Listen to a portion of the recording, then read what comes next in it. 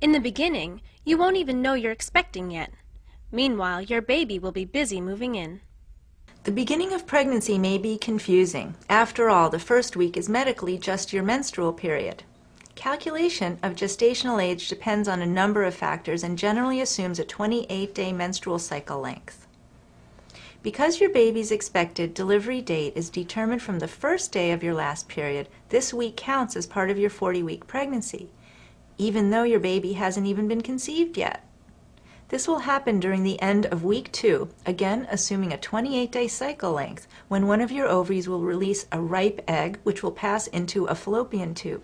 There, your egg will wait for 12 to 24 hours for the arrival of one of your partner's tens of millions of sperm.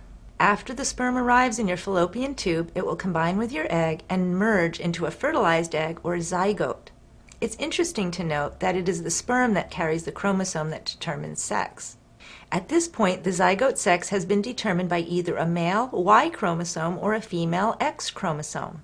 At this point, your little zygote will begin the journey from fallopian tube to uterus. As it travels, the zygote will divide until it becomes a mass of 16 identical cells, which, upon reaching the uterus, is called a morula. The morula fills up with what will become amniotic fluid and changes monikers yet again. You are now carrying a blastocyst. Near the end of your third week after the first day of your last menstrual period, the blastocyst will attach itself to the endometrium or the lining of your uterus. This process is called implantation and creates an essential connection between you and your baby. The endometrium will eventually develop into what will sustain your baby throughout the pregnancy, the placenta. But in the meantime, this lining will provide nutrients and remove wastes for the blastocyst.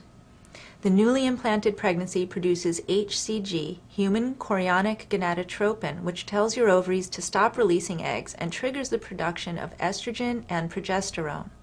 HCG is the chemical which shows up in your urine to turn a pregnancy test positive, so if you test at this point, you may already see a positive result.